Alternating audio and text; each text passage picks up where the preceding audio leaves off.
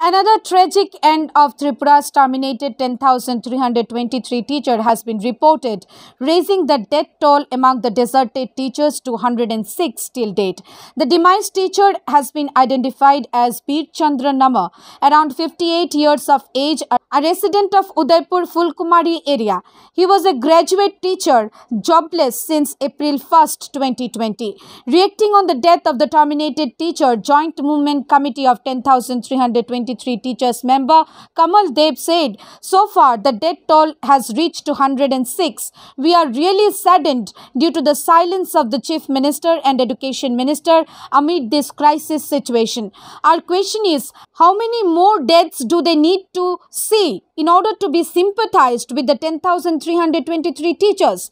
The Chief Minister and Education Minister are in deep sleep and playing the role of Dhritarashtra. We, on behalf of the Joint Movement Committee, condole his demise and pray for the bereaved family.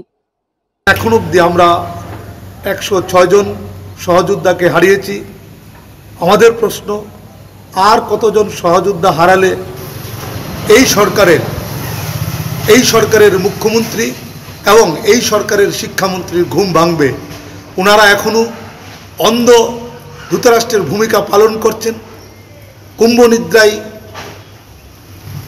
আছেন।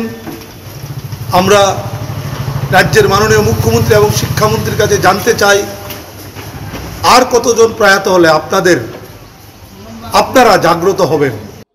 Kamal Deb further mentioned that anti-social elements are attacking 10,323 teachers and their residences. Yesterday in Melaghar, a terminated teacher, namely Bhola Bhomik's residence, was attacked. And recently in Khowai, two teachers were attacked by a biker gang. Joint Movement Committee condemned the attacks. On the one side, the teachers are dying, and on the other side, 10,323 teachers are facing severe attacks.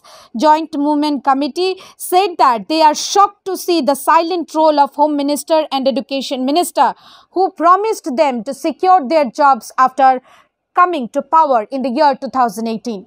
Bureau Report, Hallabol.